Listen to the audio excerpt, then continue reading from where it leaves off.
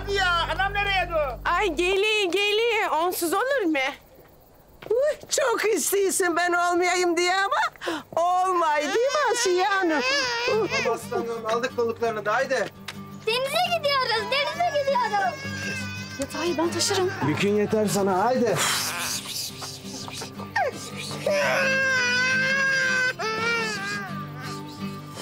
Abla her şeyi siz yaptınız. Ben hiçbir şey yapamadım. Uy sen o gözme de göğe merdiven kurar bilmiyor musun? Haydi oyalanmayın. Tövbe ya Rabbim, tövbe estağfurullah. Murat, Fatih, Murat, Fatih, haydi yengem. Murat! Fatih! Zeytinyağı koydum, börek, kızartma. Kabında karpuz yok. Kızım bahsetme kavuruna karpuzuna. Ulan bütün evi taşıdın ya. Alırım onu yoldan. Hadi Asya. Hadi kurban olayım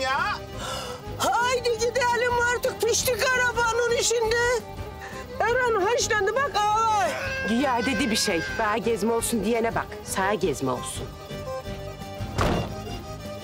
Murat! Fatih! Hadi oğlum haydi! Balım kızım haydi. Geldik abi. Geldik. Geldik abi geldik abi. Nereye geliyorsun ha? Eren alay arabanın için. Haydi oğlum. E, tamam Mustafa, böğürme. Ayıcık gibi böğüreyim.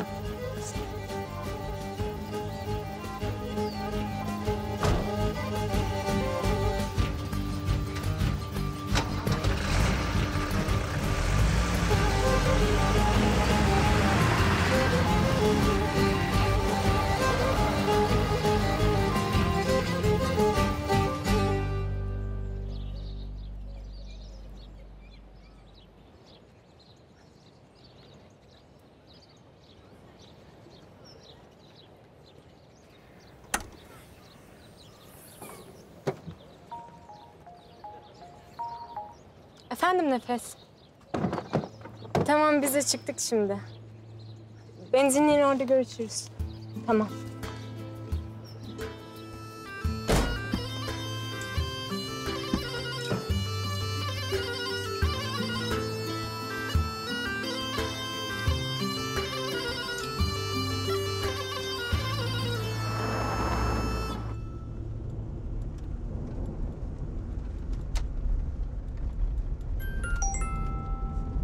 Nasılsın Melekciğim?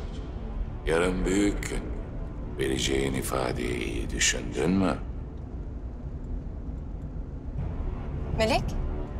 Efendim abla, Kim ablacığım? ee, okuldan bir arkadaş. Tatil fotoğrafı atmış da.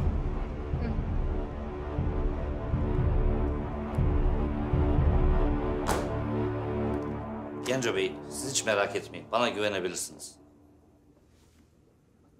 Ben kimseye güvenmem. Hatta kendime bile. Ama merak ederim. Öyle öğrenirim. Bunun için sen de merak et. Eğer bu davayı kaybedersem, Genco Bey zarar görürse bana ne olur diye merak et. Çünkü merak ve endişe insanı hayatta diri tutar, uyanık tutar. Çık dışarı.